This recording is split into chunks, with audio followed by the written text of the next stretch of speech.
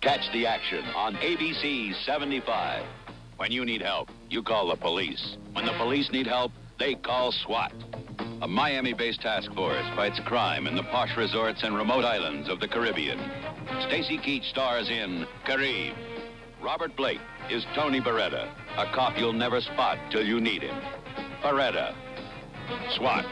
Caribe, Baretta. The action on ABC 75.